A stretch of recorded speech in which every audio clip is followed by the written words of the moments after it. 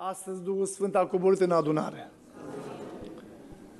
Știți ce mă rog? Duhul Sfânt să fie în continuare peste toată adunarea Amin. și El să atingă și gura mea. Amin. Lucrarea Lui să strălucească și înțelepciunea Lui Dumnezeu să locuiască în fiii luminii. Amin? Amin? Am un prieten și eu și Vali, ăsta a fost șeful personalului la fabrica de armament la Orăștie. Toată lumea din fabrică știa că el e pocăit. Avea mari probleme din cauza aceasta. Mulți se întrebau cum a ajuns el șeful personalului, fiind pocăit. În Biblie spune că copiii lui Dumnezeu sunt cap și nu coadă. Amin? Sunteți de acord cu mine? Uh, avea un ortodox în fabrica acolo care îl tachina tot timpul. Ăsta cunoștea foarte bine Biblia. Și într-o zi iasă înainte ortodoxul ăsta. Și îl întreabă, Miroane, bă, tu ești pocăit? Pocăit, da. Și a început să-i dea niște argumente legate de pocăință și de ce cred ortodox și, și de ce, cred, ce crede el. Uh, și îi spune Miron, auzi, arată mie pocăit prost și o spun că la nu-i pocăit. Pă cum vine asta, mă? Băi, tu știi că în Biblie scrie că peste copilul Dumnezeu El toarnă duh de pricepere și înțelepciune? de eu sunt șeful personalului și tu ești la mașină acolo. Ia termină, du-te și te pune mâna pe lucru că te dau afară. Te rezolvi imediat. Și nu a avut, l-au trebuit să se conformeze, că el era șeful. Uh, cred că Duhul ăsta de înțelepciune este și peste biserica din Groș. Mare lucru să lucrezi cu înțelepciunea lui Dumnezeu. Știți că evreii au un proverb. De capră să te ferești de partea din față, de cal din, de partea din spate și de prost din toate părțile. Păi, ăștia peste toate uh, dealurile, peste toate văile. Uh, mare lucru să știi să lucrezi cu înțelepciunea lui Dumnezeu. Cred că Duhul Domnului este peste biserica aceasta și din tinerii noastre se vor ridica vase care vor fi călăuziți de Duhul acesta de înțelepciune. Doamne, călăuzește-ne în toate planurile Tale. Amin? Uh, de câteva luni, ăștia m-au făcut președinte. Eu mi-am dorit să ajung președinte. De când eram copil, zic, mă, ce frumos să fii președintele unei chestii de așa mai importante, a unei corporații sau a țării. Gândurile mele erau acolo și la asociația noastră de nevăzători, ăștia au zis, domnul Puiu, nu vrei dumneata care ai atâtea conexii în Europa, în America, să devii președinte în asociația aceasta. Că au fost la noi numai oameni competenți. Păi zic eu cu ce să vă ajut, că eu sunt misionar, eu sunt așa, eu n-am eu timp de lucruri de acestea. Dar m-am gândit la un lucru, mă, toți primarii ăștia ani de zile ne-au promis că ne ajută cu asociația, că ne fac... Noi aveam o, o, un apartament la partier, în campanii, toți din 4, ani zugrăveau apartamentul ăla. Niciunul nu l-a făcut. Și eram mâhnit de lucrul acesta, mirosea mucegai greu și am vorbit cu doi frați care au făcut și geamul și au zugrăvit totul. Într-o săptămână au făcut locația aia. Și datorită acestui lucru, nevăzătorii de acolo, 130 la număr, hai să fii șeful nostru, să zic, zicem așa. Și zic, păi eu m-aș duce, dar cum se procedează cu o candidatură, cu o platformă și erau mai încă trei, un inginer, un scriitor și un profesor. Bă, zic, eu n-am nicio șansă împotriva lui ăsta. Eu zidar și motor, cu chestia asta, zero. Dar cu Dumnezeu poți să ieși biruitor în toate.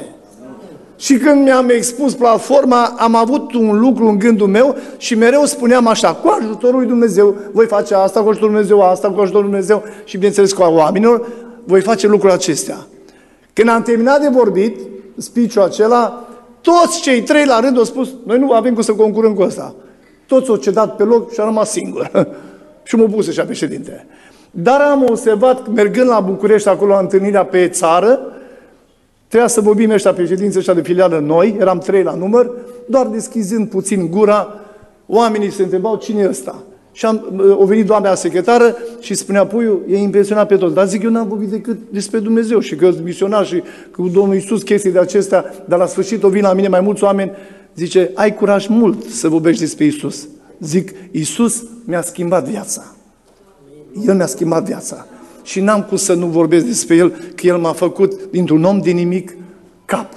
Doamne, ridică tineretul din biserica aceasta și fă să strălucească în Bihor și oriunde se vor duce să cunoască toți că ești copilul lui Dumnezeu, fii ai luminii, care fac faptele luminii. Și Domnul m-a binecuvântat la lucrarea aceasta și am început să caut nevăzătorii din județ, sunt oameni de toate categoriile care se aduc în asociația aceasta, care pot să facă lucruri mărețe pentru țara aceasta. Și de ce țara e bolnavă? Pentru că noi înșine stăm nepăsători. Noi avem o datorie să strigăm pentru țară, să strigăm pentru oameni din fruntea orașelor, comunelor, satelor și noi înșine să punem inima pentru vindecarea țării.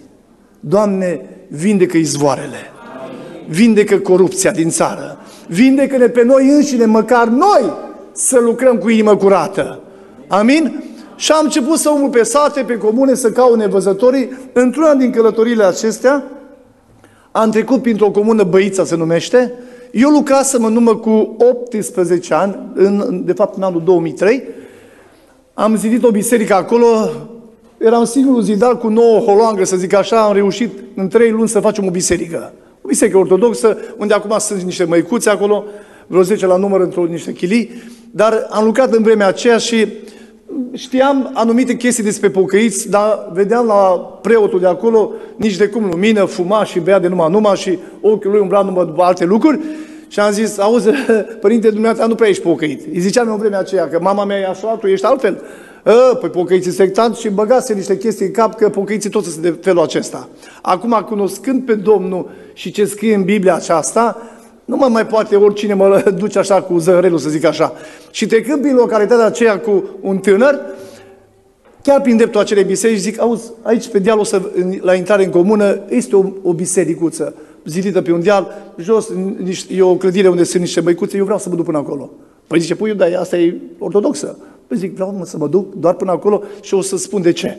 Și când am urcat lângă biserică, zic, du în spatele bisericii. Acolo era o placă de marmură și erau niște nume trecute și am zis, ia citește ce scrie acolo. Și era trecut și numele meu. Și zice, frate, dar de ce e numele tău aici? Zic, am zidit uh, lăcașul ăsta. Și era, ne-a văzut preotul, un paroh, un călugăr, și au venit încet în spate, zice, ce căutați aici în spatele bisericii? Zic, placa aceasta, să o citească tânărul acesta. Păi de ce? Și am spus că am fost unul din zidarii care a lucrat acolo și ce, dar cine, ă, cu ce vă ocupați? Când au zis cu ce mă ocup, și am spus, într-un cuvânt pot să spun doar atât. Sunt omul lui Dumnezeu. Noi trebuie să fim oameni al lui Dumnezeu. Oriunde vom merge să știe toți că noi suntem oameni lui Dumnezeu. Și am început să-i vorbesc despre Domnul, cum El mi-a schimbat viața, cum mi-am pierdut vederea, m-am trezit că mă ascultau și măicuțele, m-a ascultat și preotul și preotul la un moment dat zice, a, tu ești pocăit? Zic eu, da, dar tu ești? Da, tu ești pocăit. Zice, Doamne ferește. Auzi ce zice preotul? Doamne ferește! Și am început să-i spun despre Ioan 14, despre Domnul Isus, care spunea, cine m-a văzut pe mine, l-a văzut pe Tatăl. Dar îi aduceam propoziții din Biblie până la jumătate de frază și așteptam el să completeze. Habar n-avea. Să, nimic nu știa din Biblie. L-am, imediat l-am încurcat, pentru că nu cunoștea cuvântul Lui Dumnezeu. Doamne, descopere-te la orice persoană din adunare. Cuvântul lui Dumnezeu te luminează. El îți dă înțelepciune și te face să strălucești. Și predicând la preotul ăsta și la măicuțele alea, la un timp tânărul ăsta mă prinde de mână și zice, ăștia plâng toți. Erau cu lacrimi în ochi. Că le-am spus cum Domnul Iisus a schimbat viața mea. Să nu vă fie rușine să vorbiți despre Iisus. Chiar preoților, chiar măicuților, că Dumnezeu le poate schimba inimile și lor să înțeleagă pe adevăratul Dumnezeu, să-L cunoască pe adevăratul Dumnezeu, să cunoască adevăratele lucrări care Dumnezeu le face. Amin? Și la puțină vreme am trecut a doua oră pe acolo și deja mă știau că sunt pocăitul și mă, mă invitau în biserică să mă rog cu ei. Zic, n-am timp de lucrurile acestea, dar eu zic, Dumnezeu să vă caute și pe voi cum o căuta pe mine, citiți Biblia. Citiți Biblia. Știți că la Piatra Neamț fratele Miron despre care v-am vorbit, cu un tânăr. Se întorsese la Domnul de puțină vreme. Ei dormeau amândoi într-o cameră, fratele Miron predicase despre Evanghelia, despre Raiul lui Dumnezeu și cum Dumnezeu vorbește și astăzi direct cu omul. Eu cred că Dumnezeu astăzi a vorbit în adunare. Sunteți de acord cu mine? Să zic amin numai cine crede. Amin. Credeți că Dumnezeu a vorbit azi în adunare? Amin. Doamne vorbește în continuare în adunare. Amin? Și tânărul a rămas cu gândul ăsta. Cum, Doamne, Tu vorbești cu oamenii și astăzi gură câte gură direct? Și s-au pus pe genunchi, s-au rugat și tânărul a zis așa. Doamne, dacă cu adevărat Tu vorbești și astăzi cu om, vorbește și mie noaptea asta. Și a avut un vis. În vis un bărbat a venit la el și a zis așa. Citește Biblia. Este cartea care te desparte de iad și te duce în rai. Citește Biblia. Aceasta este cartea care te va duce în rai. Doamne, vorbește cu orice suflet din adunare și dacă sunt astăzi oameni care încă n-au făcut legământ cu Isus, Isus să le schimbe inima. Amin? Credeți că Domnul lucrează și astăzi cu aceeași putere? Credeți că este și azi în adunare și poate să facă lucrări de slavă? Auzeam vorbindu-se aici de niște situații, vreau să vorbesc de o lucrare pe care am experimentat-o în Spania, în biserica Gosen, unde e păstor fratele moldovan. După slujbă, o femeie din dreapta cu o altă soră, le-am auzit pe podea cum pășeau așa cu tocul și am zis, sigur, niște femei vin spre mine, Val era în stânga, cu păstorul, și se opresc lângă mine. Și una din ele zice așa, frate Puiu, în urmă cu trei ani, era în biserică aici și a avut cuvânt pentru mine că la anul pe vremea aceasta vei ține în brațe un prunc de parte bărbătească. Ai avut lucrare să dau sau nu? Păi, zic, soră, eu nu știu dacă am avut chiar așa, eu știu că am avut unele lucrări pe linia aceasta, dar nu știu dacă exact cum spui dumneata. Frate, păi dumneata poți să-mi spui mie că eu am o lucrare? Eu am lucrarea aceasta. Zice, ai spus că la anul pe vremea aceasta voi ține. Eu n-am avut prunci timp de 14 ani. Păi și? Eu eram deja încordat de numai numai, Vali se uita la ea, sora avea în brațe un băiețel de 2 ani, pe care eu nu-l vedeam. Dar la modul cum ea mă luase, mi s-a făcut inima de numai numai, așa cât o nucă. Eram așa frământat, zic, bă, dacă nu s-a făcut lucrarea, și zice, ai avut da sau nu? Păi, probabil, dacă dumneata spui că am avut, așa este. Și au zis, ai avut, frate. Și mi-au pus prunc în brațe. Zice, băi, mai speriat de moarte, zic. Zice, te rog să-l binecuvântezi că nu strică două binecuvântări. Dumnezeu ce-a spus, o împlinit. Am un băiețel de 2 ani, după 14 ani de așteptare, Iisus a binecuvântat pântecul meu. Slavă Lui! Vreau să vorbesc de o lucrare din Houston, că e mai ușor de verificat. Când a fost la convenție, o tânără pe nume Emanuela m-a oprit pe hol și mi-a convenit foarte tare că m-a oprit. Eram cu fratele Gabi Ada, mă țineam de el și erau câțiva, un grup de păstori, unii care credeau, unii care nu credeau. Vreau să vă spun că, din nefericire, cele mai mult, sunt foarte multe biserici care au dat la o parte lucrarea asta Duhului Sfânt, au pus accent pe citirea Bibliei, pe studiu și pe învățătură, dar prea puțin pe rugăciune. Știți cum scrie în Biblie? Casa mea se va numi o casă de rugăciune. Să știți că asta nu se va schimba niciodată. Biserica Dumnezeu este o casă de rugăciune. Evanghelia trebuie citită, trebuie trăită, dar casa lui Dumnezeu rămâne o casă de rugăciune. Amin? Și știam pe cei dinaintea mea care nu aveau nicio treabă cu lucrarea Duhului Sfânt, dar nu, eu m-am bucurat că tânăra asta s-o, s-o oprit lângă mine și mă de deoparte și zice, frate, vreau să-ți mărturisesc o lucrare și faptul că sunt mai mulți oameni aici să o audă toți. Zice tânăra asta, foarte curajoasă. Și zice, eu m-am căsătorit și mi-am dus și m-am dus după căsătorie, mi-a făcut un examen ginecologic și s-a găsit o problemă. Pe unul din ovare aveam o tumoare. Medicul când a luat uh, din tumoarea aceea și s-a făcut biopsie, a venit un rezultat cancer.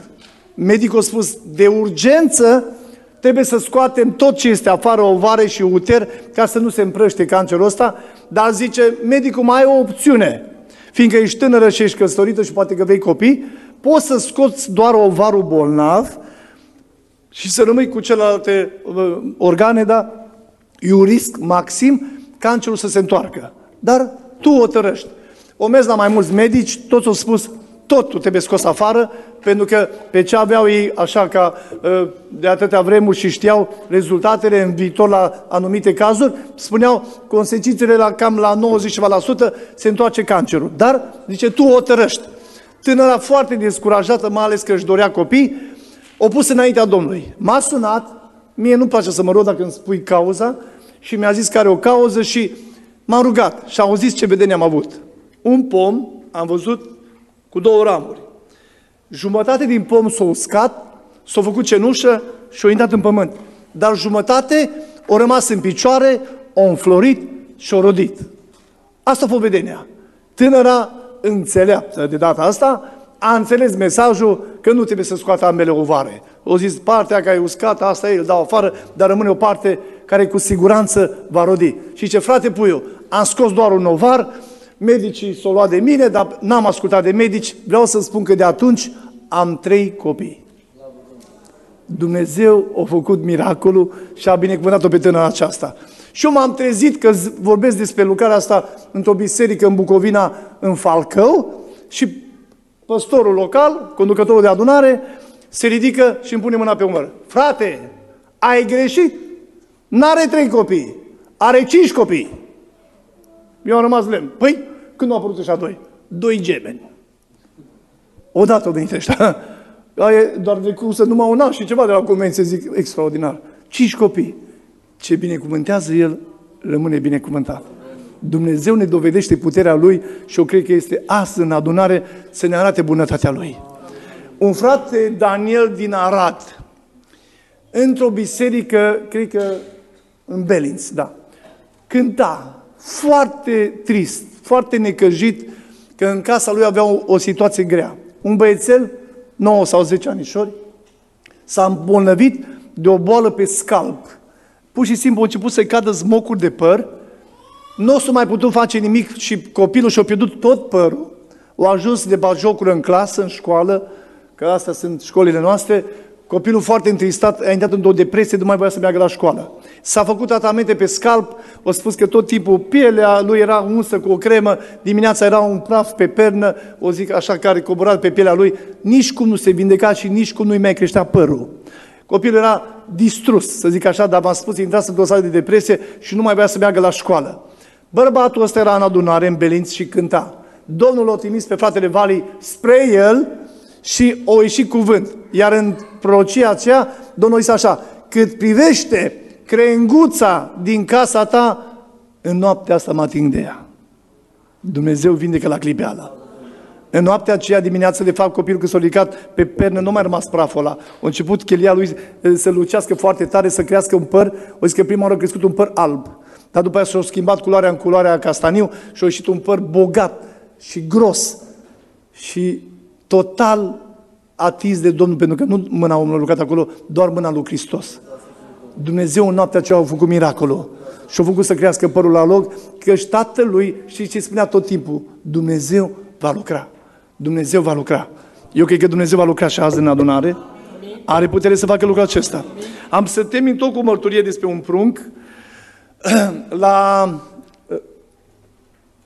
Știam și localitatea, cred că se numește Sfânt Andrei, județul Timiș. Nu pot să spun exact că chiar în, în, în localitatea asta, dar știu despre cine este vorba. Uh, fratele se numește Calaniuș sau ceva de genul ăsta, e maghiar, sau Calo. Dar pe linia asta e numele lui, dar e, e, știu sigur că e, e maghiar. Acum, el, o, familia lui are, deci are mulți copii. Unul din copilașii lui, nu știu, 5 sau 6 anișori, într-o dimineață, când erau toți să jucau copii acolo, spune, mami aprinde lumina că nu mai văd. De ce întuneric? Mama zice, cum, ce lumină să aprind? Că e ziua în cameră. Apoi au realizat copilul nu mai vedea absolut deloc. S-au speriat foarte tare, s-au dus repede la medic și medicii au găsit în spatele ochilor, lângă nervul optic, o tumoare care a crescut. Medicii au spus, ne pare foarte rău, nu se poate opera, putem tăia din ea, dar nici de cum să se opereze. Atât de, atât de tare s-a dezvoltat tumoarea aceea, închipuiți-vă că i-a împins ochii copilului afară. A intrat în comă băiatul, o zis că posteau familia frații lui, o zis că era un plâns continuu. Copilul în spital, medicii așteptau să plece, să moară, spuneau că dau, nu, cum să-l scape pe copil. Și era zilele lui pe sfârșite. Într-o duminică dimineață, ca acum, tatăl plângând acolo cu soția și cu câțiva frățiori de-a copilului, el a ieșit din salon și a spus la nevasta, mă duc la biserică. Mă duc că nu mai pot sta lângă copil, sunt sfârșit, sunt obosit, mă duc să plâng în biserică necazul acesta din casa noastră. Și au plecat, s-au dus la biserică și au spus că s-au așezat în biserică acolo, în Timișoara, pe ultima bancă. Plângea la situația care o avea. Dar lângă Amvon era invitat acolo un frate, un proroc, care spunea că la rugăciune pur și simplu așa clocotea de puterea care era peste el și Dumnezeu l-a trimis la bărbatul ăsta. Și a spus așa, întoarce-te de unde ai venit, căci chiar acum m-am atins de mlădița ta. E mare Dumnezeu. O zis că o urlat ăsta, o ieșit afară din adunare, tot sunam, dar nu mi-a răspundea nimeni la telefon, a fugit spre spitalul care era foarte aproape, când a ajuns acolo, toată lumea era o forfotă grozavă la ușa salonului, au ieșit și copiii, frații lui și strigau, s-a ridicat frățiorul nostru, s-a ridicat, e viu, trăiește. Au intrat înăuntru și au întrebat pe copilaș ce s-a întâmplat. Și au spus, tati, un nene îmbrăcat în haine albe, o intrat pe ușa aceea și avea în mână un vas și acolo o cremă, ceva. O luat cu degetul și o pus pe ochii mei. Și zice, atunci am început să văd. Și o revenit la viață. Niciun medic nu a înțeles ce s-a întâmplat. Un singur medic poate să facă miracole. Să se retragă ochii aceia, să dispară tumoarea aceea, medicul Iisus Hristos. Bărbatul acela mărturisește peste tot. Cu post și rugăciune. Orice putere a întunericului cade la pământ. Iisus Hristos vindecă și astăzi. Ne în picioare. Dacă aveți cauze pentru care veți să mijlocim, vă rog frumos să le aduceți înaintea Domnului, facem o rugăciune pentru cei bolnavi, dar vă rog frumos, nu spuneți cauza, spuneți doar un nume și ne vom ruga.